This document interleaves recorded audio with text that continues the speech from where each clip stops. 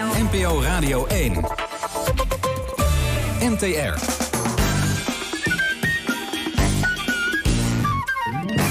Na de Russische invasie in Oekraïne stond het leven van onze gast op zijn kop. Het land waar hij ruim 25 jaar heeft gewoond, dat hem gevormd heeft als schrijver, is hem vreemd geworden. Van huis en haard is het verslag van een literair handelsreiziger die onmachtig en wanhopig door Europa struint. Hier is Pieter Waterdrinker. Kunststof. Uw presentator is Gijs Groenteman. Ja, Pieter, is dat eigenlijk zo wat Soenos hier zegt? Dat je, dat je, dat je Rusland, dat je het eigenlijk niet meer herkent? Ehm, je bedoelt de laatste keer dat ik terug Nou ja, was? dat of was- uit was- Rusland zoals zich dat ja, nu manifesteert ja, in de wereld? Nee, eh, eh, ik, ik herken het heel erg. Ja, Eh, zeker. Er is niks nieuws onder Hoe tragisch het ook is. Absoluut. Het is alleen... ehm, ehm, heb je als, als het in liefde gaat, heb je ook vaak een soort hoop. Ja, En de hoop is de grond ingeslagen. En de liefde is, neigt dan ook om te slaan in haat, maar niet helemaal. En in dat tussenstuk tussen haat en liefde, die ik altijd heb gehad voor Rusland, zit ik nu heel erg eh, met al mijn benen en eh, ledematen want je hebt altijd haat en liefde gehad voor Rusland. Ja, altijd. Ja.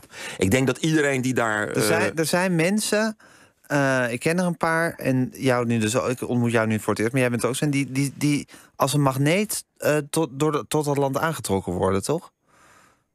Ja, door eh, lange tijd door eh, de alternatieve werkelijkheid die het bood, zal ik maar zeggen, en biedt. Zeker de alternatieve gruwelijke werkelijkheid die het nu biedt van een oorlog midden in Europa. We hebben de oorlog in Joegoslavië gehad, maar wat er nu gebeurt is dus, ja, ik zeg daarmee niks nieuws, echt de complete herhaling van zetten van de Eerste Wereldoorlog met alle gruwelijkheden en de Tweede Wereldoorlog. Maar vandaag was er, we weten niet of het waar is, een, een, eh, een droneaanslag op de koepel van het Kremlin. Ja. En het is dus net alsof je naar een soort James Bond film zit te kijken. En ik heb altijd gezegd eh, dat, dat, dat waarom ik een van de redenen waarom ik naar Rusland ben gegaan en dat zo lang heb gewoond, is dat daar het, het surrealisme, de gekte aan de macht is. En als je daar gevoelig voor bent, dan raak je daar toch aangetrokken en, en, en, eh, en eh, ook misschien wel verslaafd. Ja. En dat surrealisme kan op een hele, zich op ontvouwen op een hele vriendelijke en, en, en koddige en vermakelijke manier. Maar het kan zich ook manifesteren door de eeuwen heen in de vorm van de duivel, de diabolo. Vreedheid. En dat zien we Ja. dus nu weer. Ja, ja, ja, ja, Het is een soort Jekyll en Hyde acht. En bestaat de Russische ziel, waar wel over Oh, gesproken op wordt? alsjeblieft. Nee, Waarom? ja, god. Nou ja, dat, dat- ja de, de Russische ziel. Ik zou niet weten eh, wat dat is. Ik denk dat de Russische ziel zoiets op dit moment is. Zoiets als eh, Jules Deelder die had gezegd van hè, de hart van de Amsterdammer. Eh, het is mooi, maar het moet aan een touwtje eh, hangen over zijn rug. Zo laag dat de honden erbij kunnen. En eh, dat, dat geldt dus nu voor de Russische ziel op dit moment, zou ik dan kunnen zeggen. En dat is Maar de natuurlijk- Russische ziel is toch iets eeuwigs in voor- en tegenspoed? Ik bedoel, de Russische ziel verandert toch niet? Nou, dat is Rus- toch dat de Russische ziel zich in schoonheid kan tonen, maar ook in vreedheid? Exact, ja. Ja. Ja, ik heb Rusland ook wel eens een manisch-depressief land genoemd. Ja, precies. Uh, Himmel ook jouwens zum Tode betreft. Ja. En dat is het in bepaalde opzichten ook. Het is ook wat dat betreft, ik heb het ook wel eens een tijdmachine genoemd. Hè, dat als je hier van Haarlem naar Amsterdam of van Drenthe naar Gouda reist, dan heb je, kom je wat platteland tegen. Maar alles is gewoon 21ste eeuw. En Ja. als je dus in Rusland, de Moskou of Sint-Petersburg, de stad uit gaat, duik je gewoon een verhaal van Tsjechov of, of Tolstoy in eh, Ja. eh, na een uur rijden of een half uur rijden zelfs. Dus het is heel veel tegelijk. En, eh, we en beleven. Poetin net zo goed een exponent van de Russische ziel als Tsjechov dat was? Of Tolstoy? Ja, kijk, ehm, de grote schrijver Nabokov heeft ooit wel eens gezegd over de werkelijkheid dat het een eh, zinledig begrip is zonder een miljoen voetnoten. En dat geldt, al, dat geldt a fortiori voor Rusland. En eh, Poetin is dus eh, de diabolische figuur nu, Ja. die Rusland altijd heeft gehad. eh, als contrapunt voor alle pracht en Alle schoonheid, van de menselijkheid enzovoort. Hè, dat ook al die literatuur, eh, ten tijde van de Stalinkampen bijvoorbeeld, waarbij gruwelijkheden werden begaan en tegelijkertijd, zelfs door de, door de beulen, werd er dan ook vaak een enorme menselijkheid eh, betoond. En eh, ja, de, de, die, die spagaat van dat, van dat land is natuurlijk krankzinnig. Maar, Maar het is misschien dus ook de, in die zin de heftigheid en juist die, die waanzinnige breedte van dat land en die, die wijdheid. Dus in, in, in tussen goed en slecht en schoonheid en lelijkheid. Die het misschien ook zo waanzinnig aantrekkelijk maakt voor sommige mensen. ja, en ehm, Dat is niet polderachtig. nee. En nou ja, goed, daar zeg ik ook niks nieuws mee. Maar het, bestaan is, is en was ja, op een bepaalde manier intenser. Hè? En ik zeg niet alleen dat het in Rusland is hoor. Maar bijvoorbeeld, ik, heb, eh, ik ben in Nederland opgegroeid. Ik had al heel jong het idee van ik moet hier wegwezen. Ook omdat ik nooit als kind op vakantie ging naar het buitenland. Ik bedoel, ik was Nee, je bent opgegroeid in Zandvoort. Ja, en ik Dan bleef ben je daar- al op vakantie. Ja, dat zeiden ze dan ook. Maar bijvoorbeeld, ja, ik, ik, eh, de vakantie was voor mij altijd eh, borden wassen en, eh, en op een gegeven moment borden wegbrengen. Volle Ja, je vader weg- was kok, hè? was kok, ja. En Ja. mijn moeder deed de, de afwas in, Waar de- was hij precies kok? in het hotelletje van mijn familie. Ja, En eh, nou ja, goed. en Eerst dan was moest hij- je helpen. Dat moest niet, je deed het. Je deed het, ja, dat was gewoon... Omdat je, je hield van je ouders. Omdat, dat is ook zoiets raars. Dat, ehm, eh, toen ik op de middelbare school kwam eh, in Haarlem... eh, kwam ik kinderen tegen die begonnen echt over hun ouders te zeggen... ja, wat moet die oude lul? eh, en hij heeft meer geld dan ik, enzovoort. En ik heb twee broers, een jongere en een, eh, een, een, een oudere broer. En wij waren 11, 12. En wij hadden echt... Het klinkt een beetje pathetisch, maar medelijden met mijn vader dat hij zo hard moest werken. Hij stond echt om zes uur 's ochtends al in die keuken. En s'avonds om elf uur stond hij er nog. En dat zeven dagen per week en eigenlijk altijd. Ja, En dan, ik wist al heel snel ook dat, dat eh, als je dan wat ouder werd, eh, de tragedie zag ik al heel snel ervan in. vond je hem een tragische figuur, je vader? Eh, eh, ehm, eh, de man was zo intelligent. Eh, echt heel intelligent, sociaal intelligent, maar was ook gewoon. ik bedoel, pas toen wij gingen studeren, kwam hij pas achter het bestaan van NRC Handelsblad. Ja, ja. Maar hij had een intellectueel kunnen zijn als hij gewoon Absoluut. als hij in het goede milieu was opgegroeid. Zeker als hij de kans had gehad. En ja, hij werd, hij- ja goed, heel kort, even door de bocht. In het laatste oorlogsjaar in de Haarlemhout. eh, af- d- door een Duitser door zijn benen geschoten. En daar, mede daardoor heeft hij ook nooit school afgemaakt. Drie, misschien de lagere school, zoals het dan heet. En toen was de oorlog afgelopen. Toen had je twee keuzes. Je kon gaan, vechten in Indië. Of gaan varen voor de koopvaardij. En dan was hij was denk ik, ja, ik weet niet, maar eh, begin twintig of eind. En eh, ja, hij is dus als koksmaatje gaan varen. En uiteindelijk zo, toen begon mijn opa dat hotelletje. En toen zei hij, nou, je kan koken, ga maar in die keuken staan. Ja. En, eh, en daar is hij nooit meer uitgekomen in Nee, wezen. dat was zijn gevangenis eigenlijk. Ja, dus, en dat, eh, en, dus wij, al, wij als kind zagen dat. En, en dus dat deed je vanzelf. Al, al, kijk, heel veel Ja, kinderen maar jij denk ik... voelde ook, je voelde, want je kan ook, als je vader is, dat je kan ook een enorme minachting dan voor hem gaan voelen. Dat is natuurlijk niet vrij. Maar als tiener, als tienerjongen Zeker. kan je ook denken, wat is het toch een loser? Dan staat hij maar, laat hij in godsnaam eens uit die keuken komen. Maar jij voelde warmhartigheid eh, Juist. voor hem. Ja, ja. En mijn, mijn broers ook hoor. Dus we hebben nooit, eh, er werd nooit, überhaupt werd nooit iets van ons geëist of gevergd. Eh, ook niet van. Nee? Nee, van je moet dat doen of dat doen. Of, of Jullie werden helemaal le- vrij opgevoed Ja, eigenlijk. en ook met leren, weet je wel, van eh, doorleren. Ja, als, als je wil doorleren, nou. Leer nou, door in als je, nou, Ja, leer door het. als je het Ja. kan. Want wij hebben de kans niet gehad. Nou ja, het, het verhaal dat je altijd hoort van mensen met mijn achtergrond. En eh, Maar Eh, maar- eigenlijk klinkt dit verhaal over je vader. Ik moet trouwens zeggen, Pieter, je bent, je bent jarenlang correspondent geweest in Rusland. We vallen nu zo in het gesprek, maar ik zal nog even de kleine, de kleine Wikipedia doen. Je bent jarenlang correspondent geweest in Rusland, onder andere voor de Telegraaf en voor Vrij Nederland. En ondertussen heb je gestaag gewerkt aan je eh, carrière of je leven als, eh, als schrijver. En bent daar inmiddels heel succesvol in. Inmiddels ben je eigenlijk journalist af en echt eh, schrijver. Toch? Nou, je was wel echt schrijver, maar is, Ja. is, is schrijver nu gewoon je, je ik heb, eh, professie? 25 jaar geleden ben ik gedebuteerd met dit jaar met een roman. Dus Ja. met een debuutroman. Dus ja, kijk, dat is heel raar. eh, ja, mensen moeten het accent ergens op leggen. Het is ook weer ja, heel het is ook allemaal net zo lang als het breed is. Ik het slaat allemaal Isaac nergens op. Babel, Jozef Rood waren ook allemaal Ja, maar je hoeft nu geen artikeltjes meer te schrijven over, over wat er gisteren in Rusland is. Exact. je hoeft nu niet in de pen te klimmen vanwege Nee. die drone, drone-aanval op het Voilà. Kremlin. Dus Ja. dat, in die zin ben je journalist af. Ja, zeker. En, ben je, en ben je schrijver. En een heel succesvolle. En eh, eh, je hebt nu een, een, eh, net een dagboek gepubliceerd van eigenlijk het, het, het, het, jaar waarin die coronacrisis eigenlijk overging in de oorlog in Oekraïne. En hoe jij en je vrouw eigenlijk uit Rusland op de vlucht slaan. Door Europa trek je trekt langs literaire festivals. Je hangt mismoedig in hotelbars. Je eet biefstukken. Je sjouwt met je katten heen en weer. Je mijmert over het leven. Je gaat naar Oekraïne. Ehm, er gebeurt van alles. Ik vond het een, een. Ja, ik heb het met heel veel plezier gelezen. Ik vond het ook troostrijk op een gekke manier. Omdat je zo'n. Omdat je, omdat je zo. Omdat je, omdat je mismoedig en tegelijkertijd ook energiek van aard bent. Dat vind ik een, uh, vind ik een, vind ik een fijne combinatie. En uh, ja, ik had wel het gevoel, maar dat doe je waarschijnlijk altijd, dat je gewoon je hart en je ziel in dat, uh, in dat boek hebt, hebt gestoken. Ja, ik, had, ik had niet van, was niet van plan om überhaupt dat te schrijven. Want zoals ik schrijf in het begin, dat, die dagboek heb ik wel ooit bijgehouden ben ik allemaal kwijtgeraakt door klunzigheid. Nou ja, dan ga ik me niet verder op in. Dat heb je in je boek ook uitgebreid beschreven. Veel dingen met harde schijven en dingen, ja. En nou ja, de, en, uh, ja, ik heb dierbare zaken in mijn leven verloren dan een dagboek. Dus ik kon me er ook wel weer overheen zetten. En uh, ja, eigenlijk, ik had dan mijn laatste roman dat ik af. Zo'n paar maanden voor die oorlog. En toen zat ik in Sint-Petersburg en ik had eigenlijk weinig te doen. Ik dacht van, ik ga maar weer gewoon wat opschrijven wat ik meemaak en zo. En toen wilde ik er alweer mee ophouden, want ik ben vrij snel verveeld.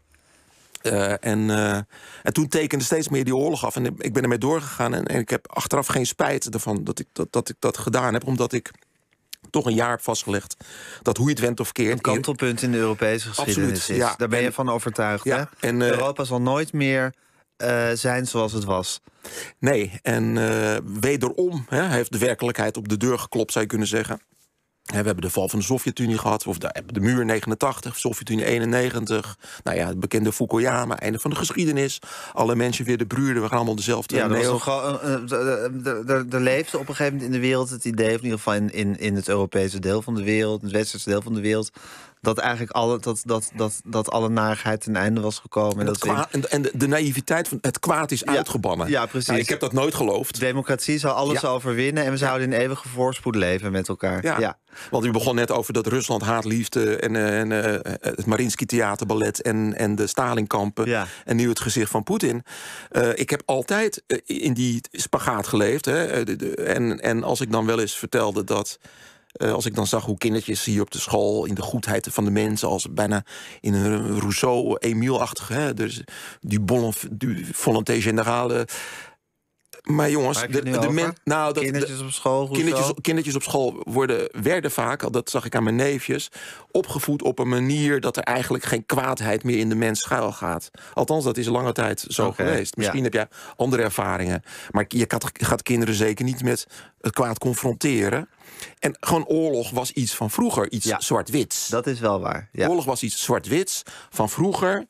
En... Zwart-wit als in zwart-wit beelden. Ja, ja, ja. En nou, kijk, ja, ik ben een oude man, dus ik heb, bij ons werd altijd over de oorlog gesproken. En ja, uh, dat, dat, dat was aanwezig. En uh, op een gegeven moment, goddank, is er dan een generatie ontstaan... waarbij de ouders en zelfs nu langzamerhand de grootouders geen oorlog meer hebben meegemaakt.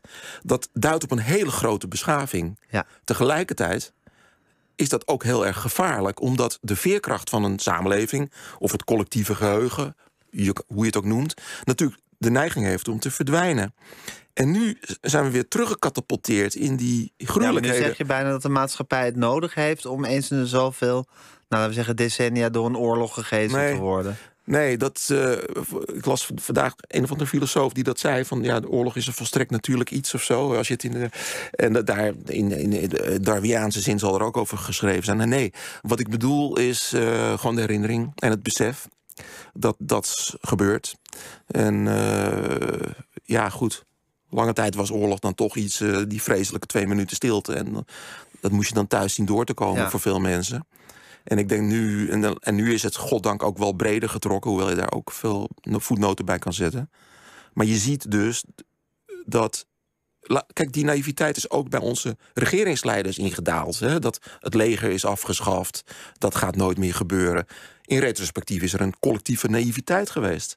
En ik denk dat dat mede de oorzaak is van het feit dat je mensen aan de macht hebt, of het nou Macron is of Rutte, hè, die generatie. Nou ja, Rutte heeft dan wel in zijn privé bestaan met oorlogen te maken gehad.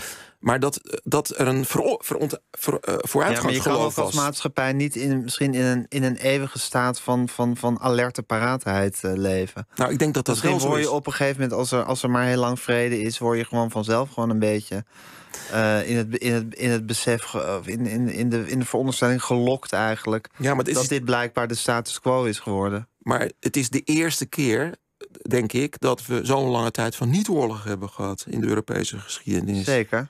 En uh, we zijn wat dat maar betreft. Kan je dan toch in gaan geloven? Ja, maar het is een naïef geloof. Ja, en het is ook gebleken. is het erg eigenlijk dat je nee, dat helemaal niet. geloof nee, hebt? Ik begrijp dat. Nee. Ik begrijp dat wel. Het is ook wel een heerlijke naïviteit natuurlijk. Absoluut. Ja. Maar uiteindelijk moet je er wel voor betalen dan. Dat zie je dus nu. Heb jij altijd wel het onrustige gevoel gehad van... er gaat heus nog wel wat gebeuren? In mijn nou leven ook misschien. Nou, uh, laat ik het zo zeggen, dat, dat in de loop der jaren, daar wonend in Rusland, heb ik natuurlijk ook oorlogen verslagen. Ik was met de oorlog in Georgië 2008, in Tsjetsjenië. Ik zat op de grens met Afghanistan in 2001 was dat. Uh, ik, ik was uh, bij het begin van de oorlog in Oekraïne op de Maidan. De annexatie van de Krim meegemaakt. Ik heb een roman geschreven, Poebel een grote roman, althans omvangrijke roman, waarbij ik uh, die oorlog uh, tegen de achtergrond meespeelt, of eigenlijk een hoofdrol speelt. Dus ik wist, ja, ik heb de lijken gezien en bommen. Dus ik ja. wist wel dat dat kon gebeuren. Dat het niet alleen maar iets van een tv-scherm was. Nee, je voelde hem wel hangen. En ja, in bepaalde opzichten wel. Ik heb nooit geloofd in dat Europa nooit meer oorlog. Geloof ik ook zelf. Wij as we speak op dit moment hè, uh, hebben um, uh, vandaag die aanslag op het Kremlin. Of het een fake is, weten we niet. Kan ook verzonnen zijn door het Kremlin om voor gruwelijkheden die Zeker, morgen komen. Maar dan is het weer typische oorlogspropaganda. Exact. Ja. Maar wij kunnen ons nog steeds, dat hier nu in, verblijven een paar dagen in Nederland. We spreken veel mensen. En eigenlijk heel veel mensen halen hun schouder op. Hè, nu binnenkort vakantie en we gaan weer verder. We kunnen het ons eenvoudigweg niet voorstellen dat die oorlog daar ver weg in Oekraïne ook ons zou raken.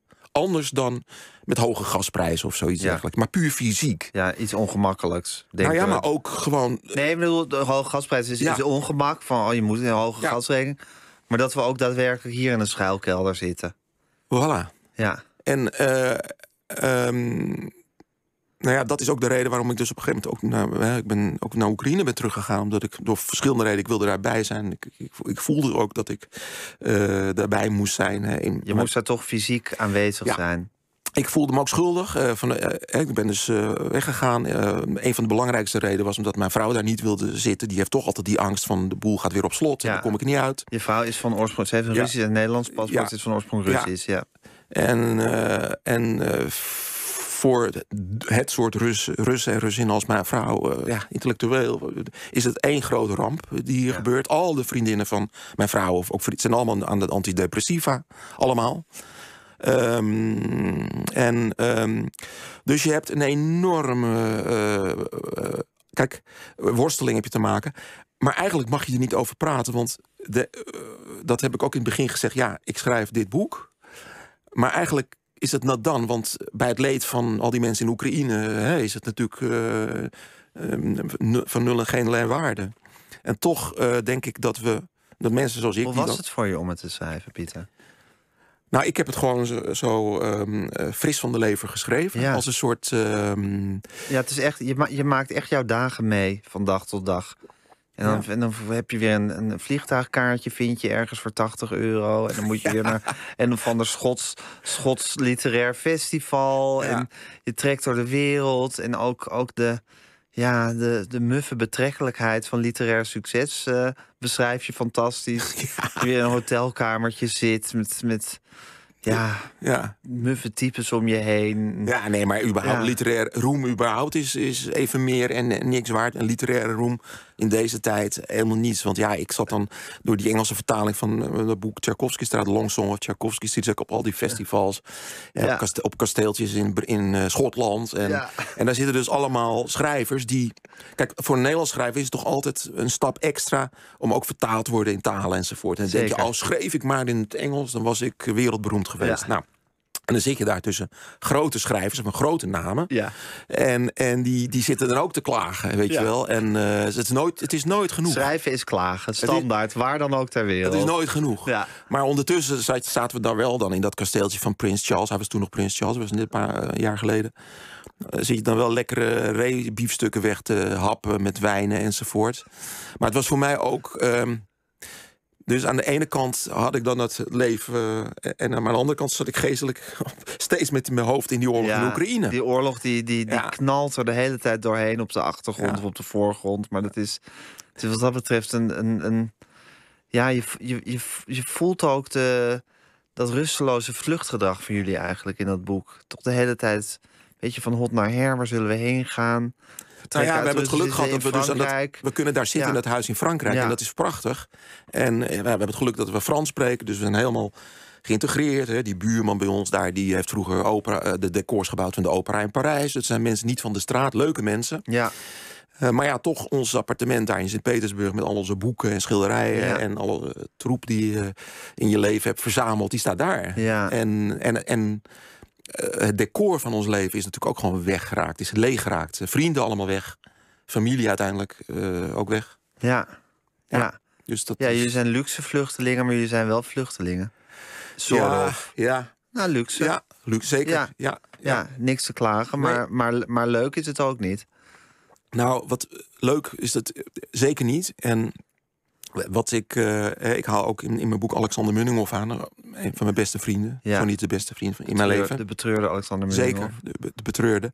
En ehm, ik, ik, eh, ik heb met hem de afgelopen jaren, hè, voordat hij eh, die stamhouder schreef, maar ook daarna heel vaak lezingen op de Wolga gehouden. En we hielden dan mooie praatjes over de, de Russische ballet en over Dostoevsky en over Pushkin. En zeker Alexander kon heel mooi gedichten reciteren enzovoort. En onze liefde voor Rusland, voor de Russische cultuur, eh, kon je uitdragen. Waarbij ik moet zeggen dat dat ook. Onze liefde was ook eh, Oekraïne, weet je wel. Want ja, wij liepen net zo makkelijk in Petersburg of Moskou rond als in Odessa of Kiev. Dat was toch ook één ruimte voor ons. En nu kan dat niet meer. Je, het is als, alsof je ja, in, ten tijde van Nazi-Duitsland eh, de lofzang gaat houden op Goethe en op, op de torentjes van de kasteeltjes in het Zwarte Woud of zo. Ja, En dus je moet eigenlijk je mond houden eh, op dit moment. En eh, dat is ook toch ook een soort. eh, ja, als je het echt haat-liefde.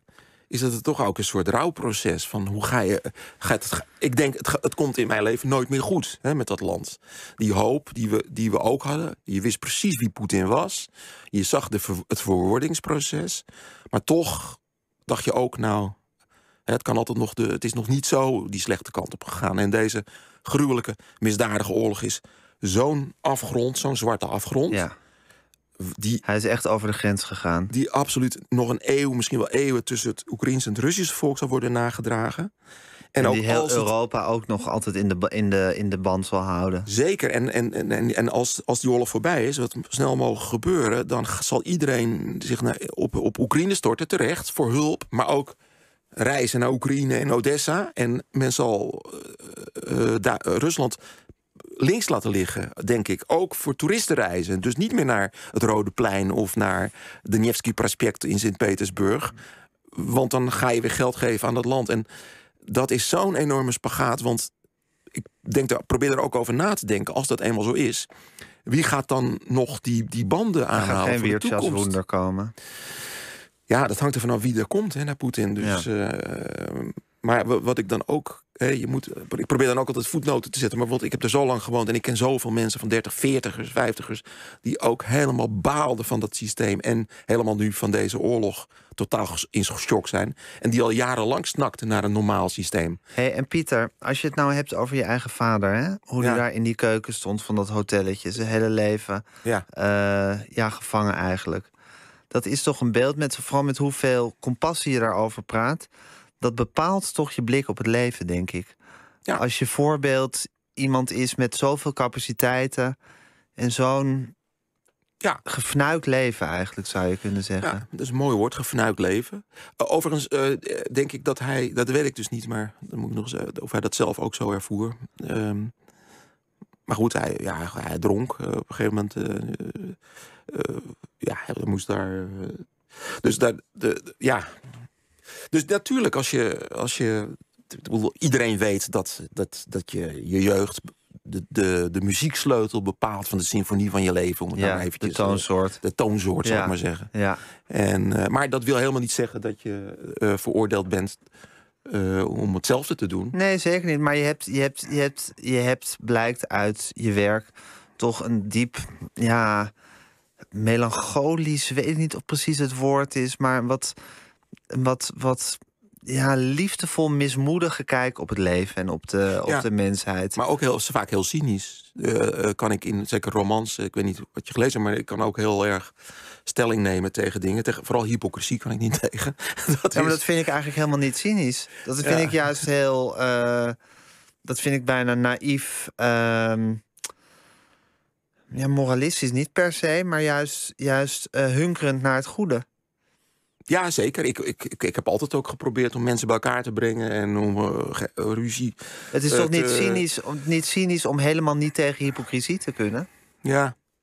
Nou ja, goed, oké, laat ik dan zo zeggen. De anderen zien dat zo.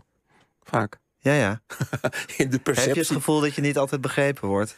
Ja, maar welk mens wordt wel begrepen? Ik bedoel, Ehm tja, de, onbegre- de begrepen mensen. welke dat, mensen dat, dat, begrepen worden? dood. Wendy van Dijk. Ik weet het niet. Nee, ik weet niet welk mensen begrepen wordt.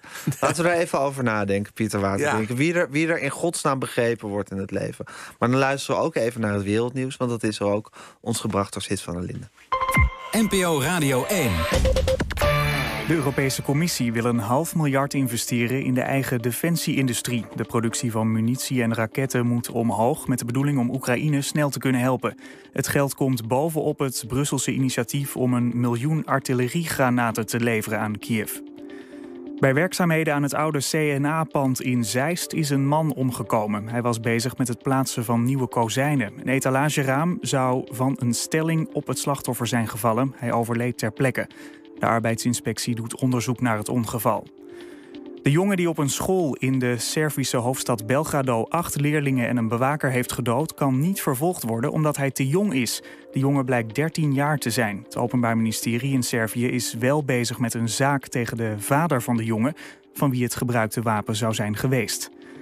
En er komt toch een vangrail in de bocht bij knooppunt Empel... waar de vermiste Sanne en Hebe vorig jaar verongelukten. Rijkswaterstaat gaat die vangrail vannacht al plaatsen, schrijft Omroep Brabant. Afgelopen zondag vloog op diezelfde plek weer een auto uit de bocht. ANWB Verkeersinformatie. Er staat één file op de A17 Dordrecht richting Roosendaal. Tussen Moerdijk en Knoop het Noordhoek is de vertraging 10 minuten.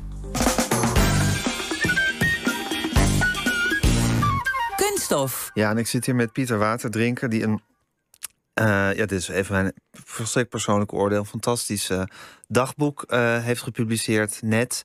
Hij is eh, eh, voormalig correspondent in Rusland. inmiddels helemaal in zwang als, als romanschrijver. En nu dus dat dagboek van het afgelopen, afgelopen anderhalf jaar ongeveer. Ja. Van Huis en Haard geheten. eh, eh, vertrokken uit Rusland nadat de oorlog in Oekraïne uitbrak. Samen met je, met je Russische, Nederland, Russisch-Nederlandse vrouw. Ze heeft Nederlands paspoort. En eh, we hadden het over je vader net. eh, eh, die vond ik heel, heel ontroerend beschreven hoe hij zijn leven heeft geleid als kok in het familierestaurant in Zandvoort, waar je bent opgegroeid. En je hebt niet de naam van je vader, hè? De achternaam. Nee, maar ehm, ik heb de na- achternaam van mijn moeder. En de, Die heb je aangenomen, hè? Ja, net als Hoelle Beck heeft ook de naam van zijn moeder. Eh Adria van Dis heet Adje Mulder, geloof ik, hè? in het echt. Dus, maar dat kwam omdat eh, mijn opa, die heette Pieter Waterdrinker. En, en het was fir- firma Waterdrinker. En als ik door het dorp liep, was het ook... Oh, jij bent er een van Waterdrinker. Dus ik heb, ja, En wat staat er in je paspoort? Van der Sloot. Oh, er staat nog van der Sloot. Ja, Ja. precies. Maar je hebt, je hebt als schrijversnaam, eh, ja, dacht ik neem waterdrinker aan. Ja, maar ik heb dat meteen gedaan, 25 jaar geleden al. Omdat ik, eh, ja... Ja, dat is, voelt nader of zo. Ik weet het niet. Dat voelt wat? Voelt? Nader. Nader, ja? ja? Ja, omdat ik, ik werd ook altijd zo eh, in dat dorp. Hè. Ja, want die familie waterdrinker was gewoon meer iets Ja. om je mee te identificeren Nee, maar, dat, van der Sloot. nee, maar ik hoefde niet mee te... Ik, ik, werd, ik werd geïdentificeerd. ja, ja, Ja. Want de waterdrinkers, dat was een soort Zandvoortse adel of zo. Nou, helemaal niet was het maar waar. Maar het was... Het was, eh, het waren, het was wel zo... dat lachen bij dat jij iets van adel in je bloed zou hebben. eh, nou, nee.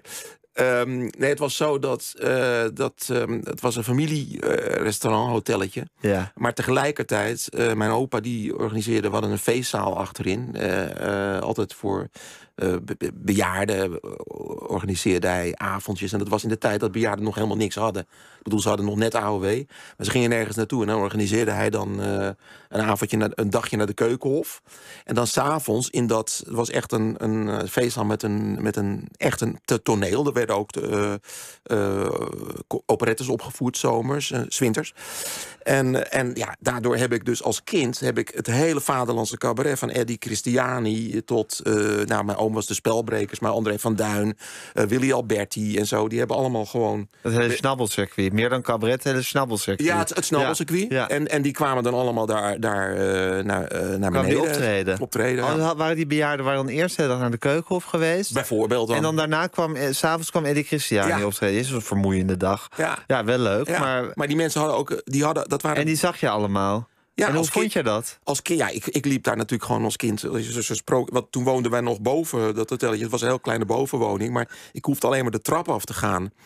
En ehm, ja, ik, ik, ik stapte zo de kroeg in, zal ik maar zeggen. Ja. Dus daar zag ik de mannen biljarten en roken. En eh, in kennelijke toestand aan de bar staan. En, Ja. en wa- waardoor je toch je observatievermogen wordt gescherpt. Dat Ja. is nu helemaal zo. En, eh, en dan af en toe ook leuke dingen. Ja, gewoon ook de klaviasvereniging, maar ook de, de, de operettenvereniging, weet je wel. Ik, ik heb, als kind heb ik ook op de kinderoperetten gezeten. Want natuurlijk, er was toch iets inherents artistieks in mij... dat geen uitweg kon vinden. Dus ik wilde dan ook op het toneel natuurlijk. Ja. Dat, dat wil je dan. En daar ben ik op de kinderoperetten gegaan. Maar ja, ik heb dus. eh, Ja, ik wil, kennelijk wilde ik ook iets met muziek, maar dat was niet in mijn eh, omgeving. Toen zei ze op een gegeven moment: Oh, dan moet je, dan moet je maar op trommelen gaan. Trommelen? Ze heeft ook op trommelen gezeten. Ja, dat was aan de overkant van de spoorbomen. En dat, ja, kijk, dus had je zo'n tamboerband. En ehm, ehm, ja, ik kende ook, ik kon geen noten lezen, want dat had ik ook nooit geleerd. En dat het was gewoon de paupernoten, werd het dan gezegd. Dan kreeg je een trommel en een schrift. En dan werd dan eh 1, 2, 3, 4, Jan met de pet op bom. 1, 2, 3, 4, Jan met de pet op bom. Jan met de pet op 1, 2, 3, 4. Jan met de pet op 1, 2, 3, 4. 1, 2, 3, 4. Jan met de pet op bom. Volgens mij was dat, het uur wel vol, Pieter. dat was 16 Ja. maanden Frans. Ah, Oké, ja. En, eh, maar, en, en zo, eh, maar op een gegeven moment voelde ik me dat toch niet thuis. Hey, en wat vind je eigenlijk van het leven? Ja, wat, wat ik van het leven vind, is dat het nogal. ik, ik, het is een typische groentemanvraag. Waar ik me eigenlijk op had moeten voorbereiden, maar ik bereid Ja. me ook nooit voor. Als je door mij geïnterviewd wordt, kan je toch tenminste voorbereidend vragen wat je eigenlijk van het leven vindt. Ja, Ja. ja nou, kijk, eh, wat, wat, wat vindt het leven van mij, zou je kunnen zeggen. Maar ehm, Nou, nou, moe- ja, moeilijk. En, en eh, kijk, ehm, je doet me een beetje aan Theodor Holman denken. Ja? In die zin dat hij ook altijd zo mismoedig over het leven schrijft. Terwijl ik ken hem redelijk. ja, En dan komt altijd op mij uit zo'n uiterst vrolijke en energieke figuur en levenslustige figuur over. Ja. En jij hebt een beetje hetzelfde. Nou ja, Gerard Dat- Reven zei ook altijd van... eh, eh, ja, zwaar en weermoedig en ondertussen dansen en springen. Zo, Ja. noemt, zo noemt hij het letterlijk. Ja, ja, ja, ja. En ehm, eh, dat, dat herken ik ook wel. Kijk, ehm, als je er goed over nadenkt... het leven is natuurlijk een, een tragedie die eindigt. eh, hoe, dat weten we allemaal. Dus dat... eh, ehm, en en, en Ja. daar moet je je tegen De verzetten. zin van En- het leven is dat het einde Nee, nee, maar natuurlijk, exact. Ja. Maar, maar ik ben wel energiek. Eh, ik heb eh, toch ook die 25 jaar. Wat ik zeg, dit is mijn vijftiende boek. Dat heb ik dan toch wel Ja. eh, tussen alle hectiek. Alle bedrijven, al die hysterische Ja. bedrijven door, Ja. heb je toch wel het uiterste uit jezelf zitten persen. Ja, Ja, en, en je houdt, want dat, is, dat vind ik ook zo. Dat, bedoel, daarom vind ik dat boek misschien ook troostrijk wat je geschreven hebt. Omdat je dus mismoedig en, en weemoedig en melancholisch en ook een beetje nukkig bent heel vaak enzovoort. Eh, dingen die ik ook allemaal herken. Maar eh, tegelijkertijd geniet je ook wel heel erg van de mooie dingen. Als jullie Zeker. naar een mooi concert gaan Zeker, of ja. dan drink je weer een glas wijn met deze Ja, of geen. Of je komt iemand tegen Ja. met wie je een hele genoeglijke avond beleeft. nee, maar dat vind ik heel belangrijk. Dat, eh, ik vind, ehm, Ja, dat is belangrijk, maar je kan het dus ook. Je kan ook heel goed genieten. Dus je kan heel goed de tragiek voelen van het leven. ja. En de, de onnozelheid ervan. En ook de gemeenheid van mensen en alles. En het miskend worden, dat zit, er, zit, dat, dat, dat zit er ook de hele tijd een beetje onder. Nee, sorry, dat heb ik verkeerd gelezen. En tegelijkertijd ook gewoon genieten van, ja, van al het leuks wat het leven te bieden heeft. Ja, dat, is wel, dat heb ik altijd wel gedaan. Ook omdat ik ehm, eh, lange tijd... Nou, bijvoorbeeld... Hè, ik beschrijf geloof ik in dit boek ook dat ik voor het eerst in, vloog. eh, eh, toen was ik 19. Nou ja, mijn neefjes zijn, eh, van zijn 9 en 8. Die zitten nu op de Canarische eilanden. Die Ja. zitten al voor de keer. elke, elke schoolvakantie Ja. weer in een ander en, en werelddeel. voor mij was dat echt een ongelofelijke ervaring.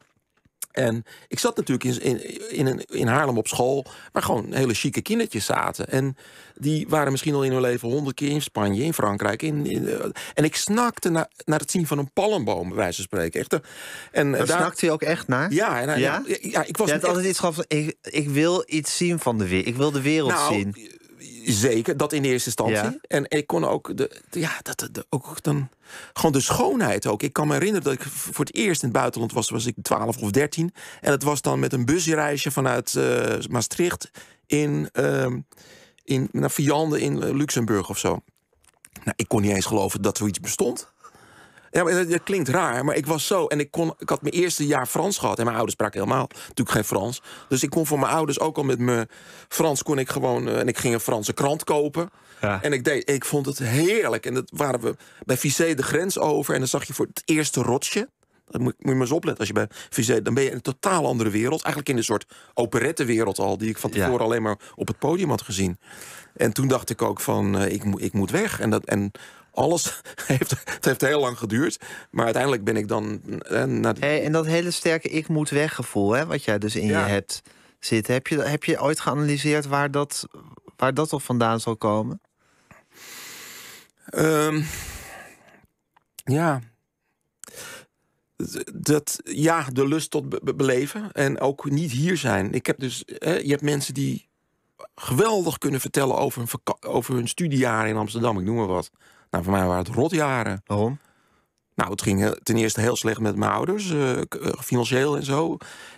Ik ging ieder weekend terug, of een paar dagen terug, om, om daar in de keuken te staan. Ik woonde in een, een vreselijk beroerd kelderappartement. En ik had, was geen lid van een student. Ik wist niet, eens- ik wist niet eens dat het bestond. Ja, dat klinkt geen. ik Maar dat kan je toch uitvinden? Ja, maar de- ja, toen had je nog geen internet. Ik, Nou, in je spreekt toch mensen. Toen, toen, toen had je geen internet, maar toen sprak je nog mensen tenminste. En je Ja, maar niet echt. sociaal gemankeerd. Nee, ik ben absoluut niet sociaal gemankeerd. Maar ik, ik heb ooit. Ik heb het vorige boek in mijn vorige boek geschreven. Je, Ik kom er nu opeens op. Ja. Ik was bij de entreeweek bij de Universiteit van Amsterdam. En toen zei ze: Oh, word je ook lid van het koor? Word je ook lid van het koor? Ik nee, maar- Maar het werd al drie keer op een dag gevraagd. Ik denk: waarom houden al die mensen zo van zingen hier? Van het koor? Ik had dus nog nooit van het koor gehoord. Nee, maar goed, na die, dag, na die dag wist je wel wat het koor Ja, was. maar dan was je volgens mij al te laat. Want eh, dat- ja, ik- maar Pieter, dit is allemaal onzin. nee, het is Je gewoon kan- zo. Nee, Nee, Want nu had ik geen geld ervoor. Nee, oké, je kan niet, maar, maar, maar je kan mij niet wijsmaken dat jij niet in, eh, in Nederland een, een, een- ook gewoon een bloeiend studentenleven had kunnen hebben. Nee, nee, zeker niet. Nee, echt niet. Want het was echt heel erg, ging het slecht. En ik was gewoon... Ja, maar dat, kwam, dat, dat is misschien iets wat in jou zit. Nee, het ging eh, financieel ook slecht. En ik, eh, ik weet niet hoe het was, maar ik kom, ik kom amper... De, de eindjes, ja, dat klinkt gek, maar dat is echt zo. Ik kon ook... eh, Bovendien zou ik echt van vroeging zou ik... eh, ehm, eh, om zijn gekomen. Als ik lekker eh, in zo'n studentenvereniging had gestaan... terwijl mijn ouders moesten eh, zwoegen. Hè? De- Ja, precies. Maar dat is het dus ook. Je, voel, je, voelde, je voelde ook dat, dat, dat, dat, dat tragische keukentje Ja. van je vader... voelde je bijna aan jou zuigen. En, je, en dat weerhield je er bijna van om hier in Nederland... een, een, een swingend studentenleven Ja. te leiden. Nou, afgezien bijna dat dat uit niet kon. compassie, Bijna uit compassie Ja. met je vader.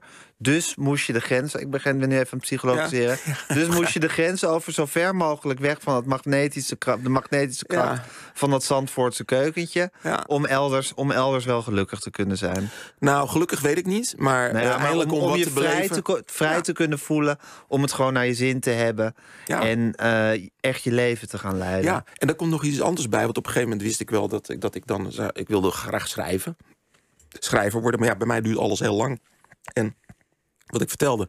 Alles moet bij jou rust lang, lang indalen. Nou, nee, eh, eh, gewoon puur. Ik denk dat. Of schrijven is, een langdurig proces bij jou. Nee, ook, ook nee, absoluut sorry, nee. Ik probeer, ik probeer iets anders. Ja, laat, ik laat je Nee, uitpraten. ehm, ehm, ehm, eh, ja, ik heb al eens ooit geschreven dat mijn, mijn eerste boek las ik toen ik 14 was. Hè, gewoon puur toevallig.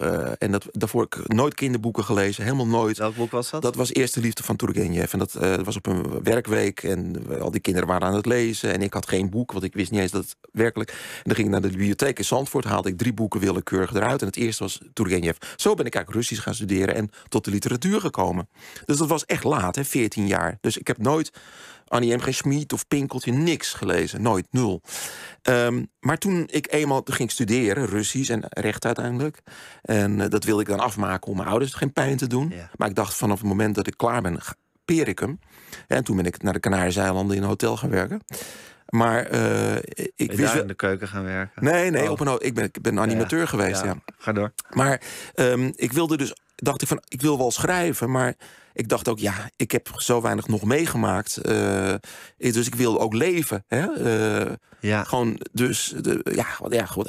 Ik was een dag in, in, in- twee dagen in, in Spanje en ik had al een affaire met een, ja, een mannequin uit Parijs die dan daar jurken toonde in al die hotels, weet je wel.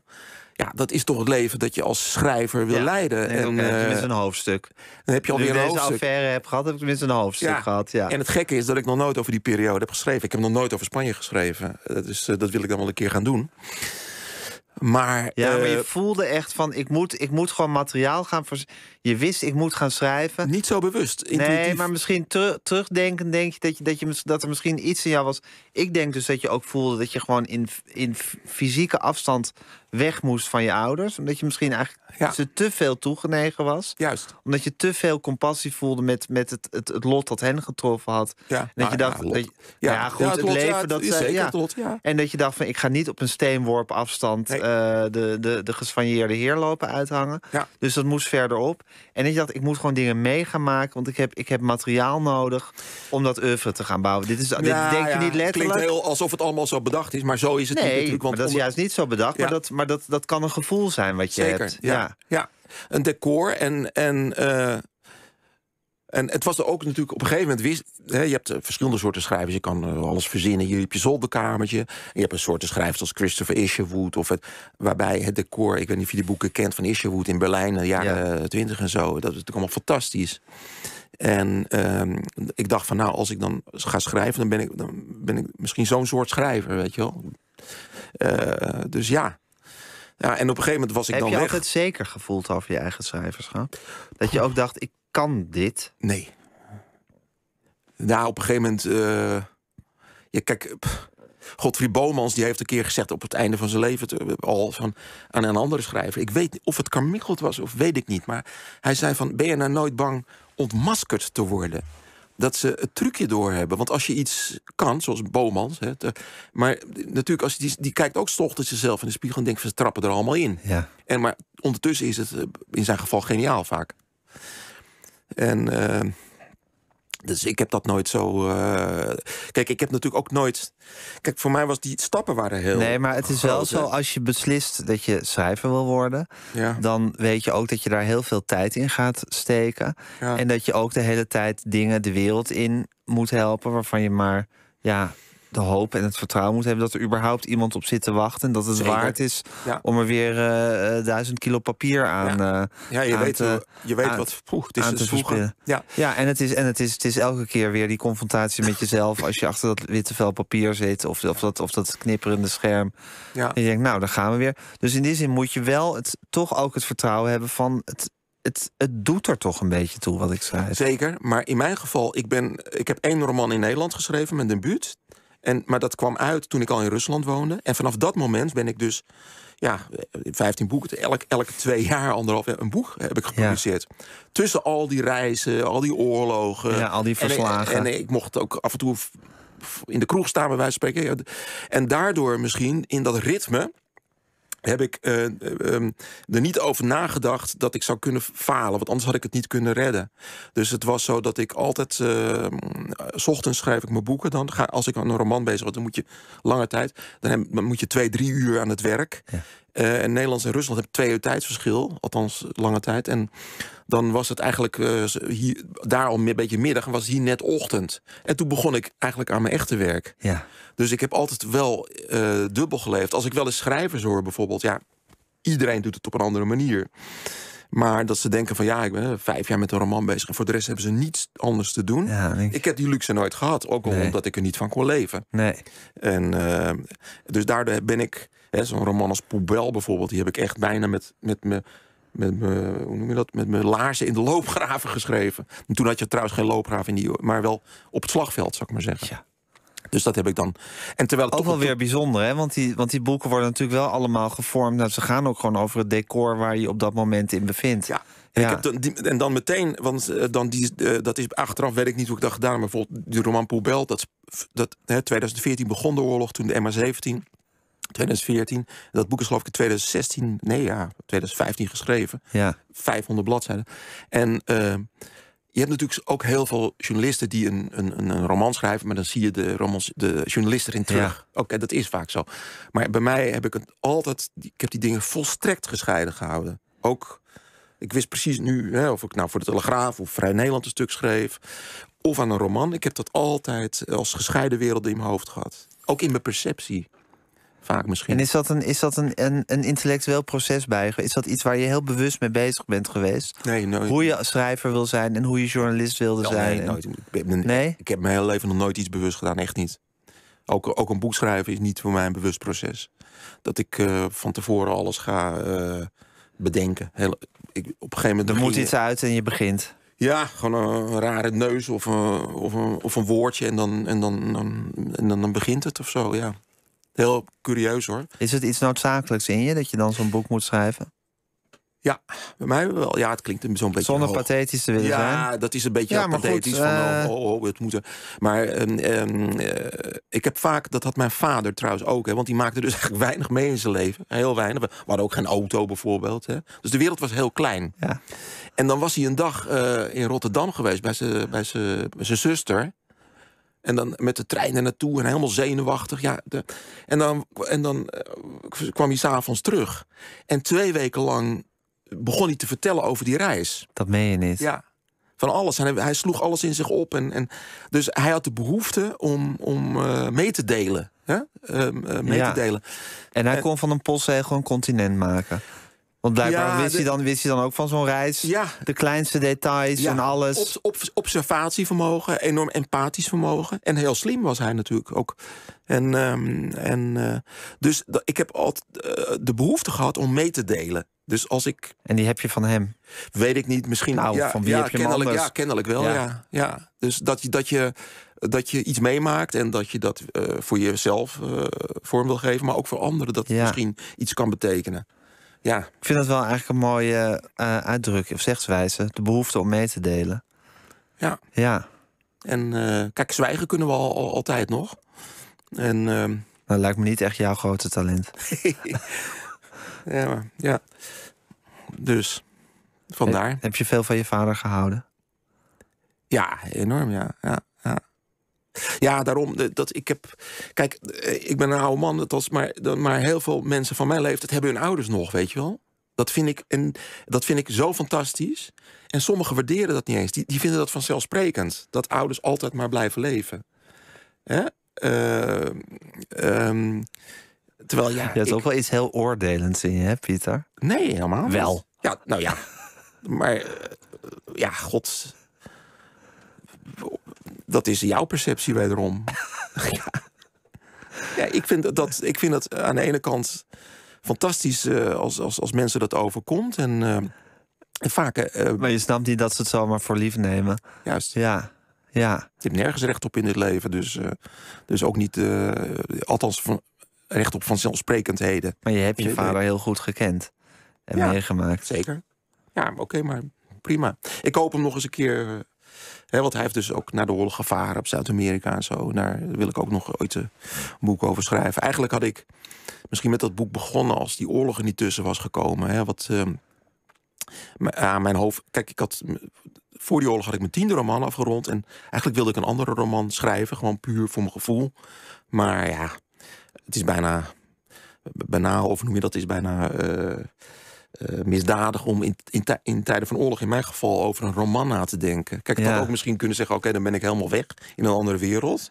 Maar ik voelde ook de behoefte om. eh, om getuigenis achter, af te leggen over mijn gevoelens, over Ja. mijn ideeën Ja, en ik, zeg, ik, zeg, ik wil één ding zeggen, want ik zei je bent heel oordelen, maar volgens mij is het zo dat jij het moeilijk vindt als mensen eh, verwend zijn door het leven, of als jij het idee hebt dat mensen verwend zijn door het leven, en dat eigenlijk niet waarderen of dat niet inzien zelf. Eh, de, sommigen eh, nemen dat Te veel eh, voor lief. voor lief aan, ja, denk Ja. ik. Ja. Maar goed, het is puur ehm, mijn gevoel. Ja. En dat is helemaal niet oordelend. Het is, het is ik, ik hoop Je dat iedereen constateert het. En je Ja. hebt nou de behoefte om mede, om, wat was ook weer de behoefte om? Mee te delen. Mee te delen, ja, dat precies. heb jij net geconstateerd. Ja, hè? ja, ja. Nou ja, Pieter, eh, de behoefte om mee te delen heb je eh, gelukkig voor ons allemaal weer zeer in de praktijk gebracht eh, in je nieuwe boek van Huis en Haard. Wat misschien ook wel, ja, ik bedoel, ik wil het niet met Stefan Zweig vergelijken, maar het, heeft, het, zit, het, zit, het, zit, het is toch een soort, soort, soort heel nauwkeurig verslag van een leven in een kantelpunt eh, Ja. van de geschiedenis. Ja. Dus wat dat betreft is het, is het ook misschien over 50, 60, 80 jaar wel heel interessant om het te lezen. Als we weten wat er daarna allemaal eh, gebeurd Nou ja, omdat, is. eh, dat weet ik niet, maar wat voor mijzelf was het zo dat er zijn niet veel mensen in, in Nederland, denk ik, maar ook niet in Europa, die de afgelopen maanden bijvoorbeeld zowel hebben rondgelopen in Moskou als in Kiev bijvoorbeeld. Ja. En dan ook de volstrekte banaliteit eh, van die, van die oorlogen ziet en de slechtheid. ja. Omdat eh, we zijn heel erg gewend om goed en slecht te denken. En in deze oorlog is duidelijk wie goed en slecht is. En ondertussen in Schotse kasteeltjes lezingen aan het geven zijn over hun eigen net verschenen en vertaalde romans. Ja, Het was, al, het was alles dit jaar. Ja, Moet je afronden? tegel naar je toe te schuiven. Ja, Ja. ik zie die klok achter je oké. wegtikken. God, we hadden, een- we hadden een tegelspreuk. Wat- ja, Weet jij hem nog? eh, leven is het nieuwe sterven. Oh ja, ja, ja. Want je was helemaal, in, je was helemaal verstoord. Je luistert dus elke dag naar dit programma... waar je als stom verbaasd dat je iets Ja. op een tegel moest schrijven. Een soort cognit- cognitief dis- dissonantie blijkbaar was er opgetreden. Nou ja, ik drink altijd wijn tijdens het koken. Misschien ben ik dan altijd. eh Misschien ben je einde bij dronken de tegen de tegel. tijd dat die tegel wordt beschreven. Ja. Leven is het nieuwe sterven. Wat heb je een heerlijk zwierig handschrift, eh, Pieter. Zet Ja. je naam er ook nog even bij Oh, ja. als je wil. Nou, ik vond het een plezier om je te ontmoeten. Ik vond het een plezier om je boek te lezen. En eh, ik hoop dat er nog vele, vele gaan, gaan volgen. Dankjewel voor En we ga- gaan nu luisteren naar vijf dagen. Deze hele week gaat het over de vraag... hoe dringen we het aantal verkeersslachtoffers terug? En Jan van Egmond gaat erover praten. Dankjewel, Pieter. Graag gedaan.